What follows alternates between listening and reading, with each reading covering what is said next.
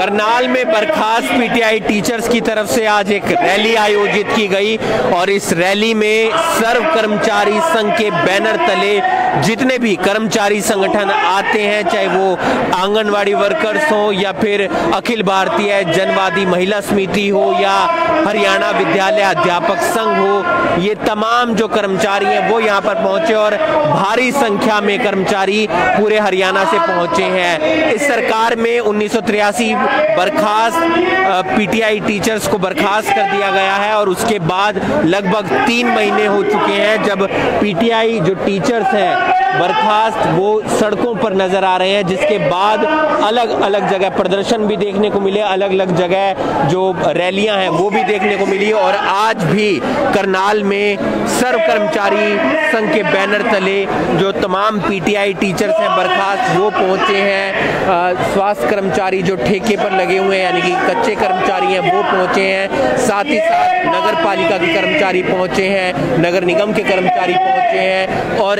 इन्होंने आगे जाना था, यानी कि सीएम आवास पर जाकर ज्ञापन सौंपना था। लेकिन उससे पहले सरकार के नुमाइंदा, यानी कि जो सीएम के प्रतिनिधि हैं, करनाल से संजय बटला, वो यहाँ पर पहुँचते हैं और बर्खास्त पीटीआई टीचर्स और सर्व कर्मचारी संघ के जो कर्मचारी हैं, उनसे बातचीत करते हैं और हल निकालने का प्रयास किया जाता है।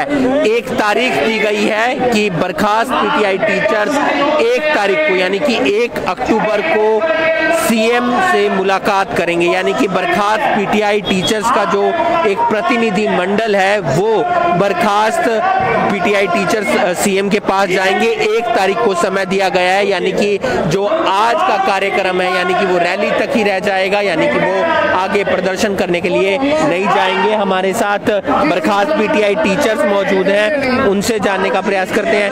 सर सीएम के प्रतिनिधि यहाँ पर आए थे, आपकी बातचीत हुई, क्या बातचीत रही? सीएम आपके चैनल के माध्यम से बताना चाहता हूँ मैं अपने सभी साथियों को कि जो प्रतिनिधि है सीएम के, संजय बटला जी, वो आए थे और वो हमारे को सीएम से मुलाकात करवाने के लिए कह के गए कि एक अक्टूबर को, एक अक्टूबर तो दो बजे चंडीगढ़ में। लेकिन ये बहुत लंबा पीरियड है, इसमें थोड़ी सी हमारी एक सिरदर्दी बढ़ आशंका हो रही है हमारे साथियों को कि जो टेस्ट लिया था तेईस अगस्त को, एक तो उसका कम से कम रिज़ल्ट नहीं निकाला जाए।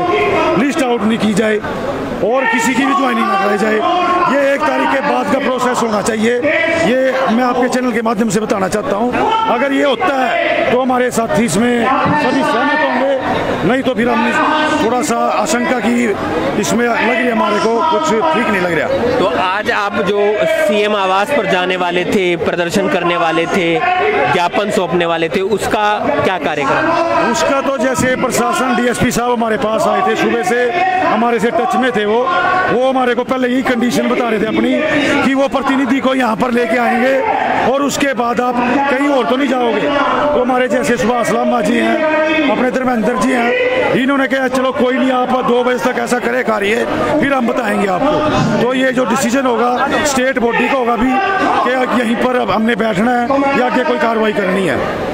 जैसे होगी आपको बता दिया जाएगा। तो आप देख सकते हैं कि बर्खास्त पीटीआई टीचर्स यहाँ पर प्रदर्शन कर रहे हैं और जो है तमाम सर्व कर्मचारी संघ के बैनर तले ये प्रदर्शन हो रहा है और यहाँ पर पूरे हरियाणा से जो है कर्मचारी वो पहुँचे हैं और कार्यक्रम था वो एक ज्ञापन सौंपने का था यानी कि लेकिन यहाँ पर सरकार के प्रतिनिधि और जो संजय बटला है जो मुख्यमंत्री के ओएसडी हैं करनाल से वो यहाँ पर पहुँचे थे और उनसे जब बातचीत हुई है तो उसमें पीटीआई टीचर्स को एक जो अक्टूबर है उस दिन जो बर्खास्त पीटीआई टीचर्स हैं, उनका एक प्रतिनिधि मंडल जो है, वो मुख्यमंत्री से मिलने के लिए जाएगा। लेकिन उससे पहले बर्खास्त पीटीआई टीचर्स की ये भी मांग है कि जो 23 अगस्त को पीटीआई का पेपर हुआ है, उसका रिज़ल्ट घोषित ना किया जाए। अगर उसका रिज़ल्ट घोषित नहीं होता तो इनका जो मांग है, वो मान ली जाएगी। यानी कि जो ये कहना चाह रहे हैं कि एक तारीख को जो हम मिलने के लिए जाना चाहते हैं। वो उनकी मुलाकात सीएम से करवा दी जाएगी, लेकिन ऐसे में आप प्रदर्शन देख सकते हैं जो पूरे हरियाणा से यहाँ पर रैली में सर कर्मचारी संघ के बैनर तले पहुँचे और यहाँ पर सरकार के खिलाफ नारेबाजी की जा रही है, क्योंकि तमाम अलग अलग कर्मचारी संगठन और सबकी अपनी अलग अलग मांग है। ऐसे में एक तारीख को बर्खास्त पीटीआई टीचर्स का जो प्रतिनिधि मंडल है, वो सीएम से मुलाकात करेगा और अपनी बात वहाँ पर जाकर रखेगा। कि उन्नीस जो पीटीआई टीचर्स को बर्खास्त किया गया है उनकी नौकरी की बहाली की जाए। तेईस अगस्त को जो पेपर लिया गया है उसका रिज़ल्ट आउट ना किया जाए। ये तमाम मांगे हैं और इन्हीं मांगों को लेकर पिछले तीन महीने से जो पीटीआई टीचर्स हैं जो बर्खास्त हुए हैं वो सड़कों पर नज़र आ रहे हैं। इस वीडियो को आप ज़्यादा से ज़्यादा शेयर कीजिए। रैली यहाँ पर हुई है और वो सफल होती हुई भी नज़र आ रही है क्योंकि पूरे हरियाणा से यहाँ पर कर्मचारी पहुँचे अपनी मांगों को लेकर और यहाँ पर जो आगे का कार्यक्रम था यानी कि सीएम आवास पर जाकर जो ज्ञापन सौंपने का कार्यक्रम था वो फ़िलहाल चलता हुआ नज़र आ रहा है क्योंकि सीएम के जो एस डी एम आ गए थे और सीएम से मुलाकात का जो समय है वो एक अक्टूबर बर्खास्त पीटीआई टीचर्स को दे दिया गया है। देखना ये होगा कि बर्खास्त पीटीआई टीचर्स और सर्व कर्मचारी संघ के जो कर्मचारी हैं उनकी आगे की रणनीति क्या रहती है? करनाल के लिए करनाल से हिमांशु